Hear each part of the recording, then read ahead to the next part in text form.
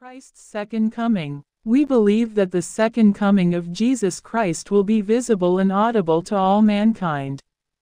Revelation 1 7 Behold, he cometh with clouds, and every eye shall see him, and they also which pierced him, and all kindreds of the earth shall wail because of him. Even so, Amen. Matthew 24:30 And then shall appear the sign of the Son of Man in heaven, and then shall all the tribes of the earth mourn, and they shall see the Son of Man coming in the clouds of heaven with power and great glory. Mark 13:26, 27 And then shall they see the Son of Man coming in the clouds with great power and glory. And then shall he send his angels, and shall gather together his elect from the four winds, from the uttermost part of the earth to the uttermost part of heaven. Acts 1 9 11 And when he had spoken these things, while they beheld, he was taken up, and a cloud received him out of their sight. And while they looked steadfastly toward heaven as he went up, behold, two men stood by them in white apparel, which also said, Ye men of Galilee, why stand ye gazing up into heaven? This same Jesus, which is taken up from you into heaven, shall so come in like manner as ye have seen him go into heaven. 1 Thessalonians 4:16, 17 For the Lord himself shall descend from heaven with a shout, with the voice of the archangel, and with the trump of God, and the dead in Christ shall rise first. Then we which are alive and remain shall be caught up together with them in the clouds, to meet the Lord in the air, and so shall we ever be with the Lord. The children of God throughout all ages have with great longing waited for this glorious event. Enoch, the seventh from Adam, preached about it. Abraham looked for a city, whose builder and maker is God. The prophets prophesied of it, and Jesus gave the conclusive assurance that he will come again to take his bride, the church, to be with him. Matthew 5, 8 Blessed are the pure in heart, for they shall see God. Jude 14, 15 And Enoch also, the seventh from Adam, prophesied of these, saying, Behold, the Lord cometh with ten thousands of his saints, to execute judgment upon all, and to convince all that are ungodly among them of all their ungodly deeds which they have ungodly committed, and of all their hard speeches which ungodly sinners have spoken against him.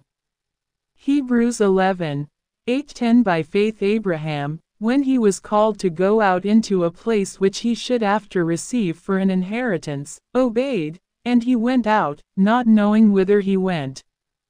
By faith he sojourned in the land of promise, as in a strange country, dwelling in tabernacles with Isaac and Jacob, the heirs with him of the same promise, for he looked for a city which hath foundations, whose builder and maker is God.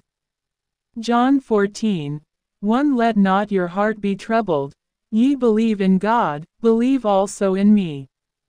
Those who have waited for Jesus' return will shout for joy at the sight of his appearing. Lo, this is our God, we have waited for him, and he will save us.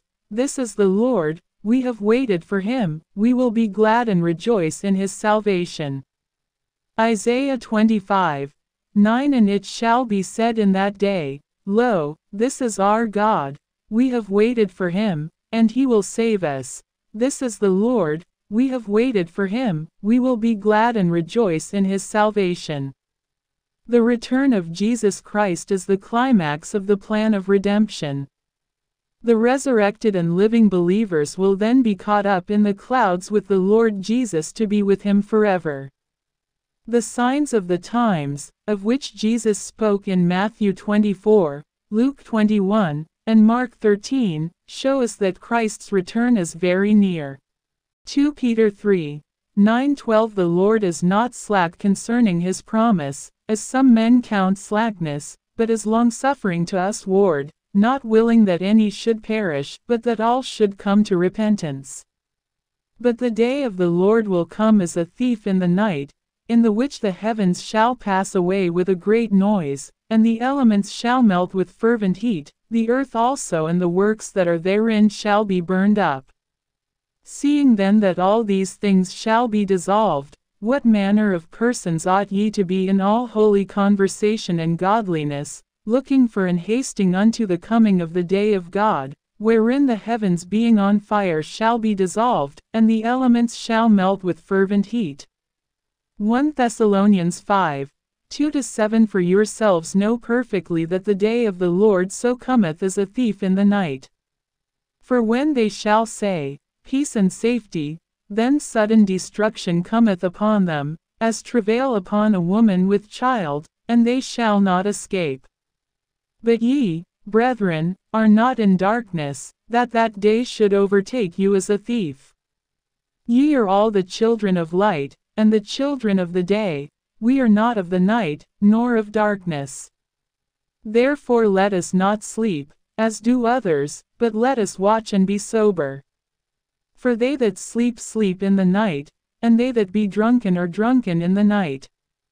2 Timothy 3 1 5 This know also, that in the last days perilous times shall come. For men shall be lovers of their own selves, covetous, boasters, proud, blasphemers, disobedient to parents, unthankful, unholy, without natural affection, truce-breakers, false accusers, incontinent, fierce, despisers of those that are good, traitors, heady, high-minded, lovers of pleasures more than lovers of God, having a form of godliness, but denying the power thereof, from such turn away. Revelation 19. 7, 8 Let us be glad and rejoice, and give honor to him, for the marriage of the Lamb is come, and his wife hath made herself ready. And to her was granted that she should be arrayed in fine linen, clean and white, for the fine linen is the righteousness of saints. The day and hour of his coming are hidden from us. Therefore, we should be prepared at all times. Matthew 24:36 But of that day and hour knoweth no man, no, not the angels of heaven, but my Father only. Matthew 24:42-44 Watch therefore, for ye know not what hour your Lord doth come. But know this, that if the goodman of the house had known in what watch the thief would come, he would have watched, and would not have suffered his house to be broken up. Therefore be ye also ready, for in such an hour as ye think not the Son of Man cometh.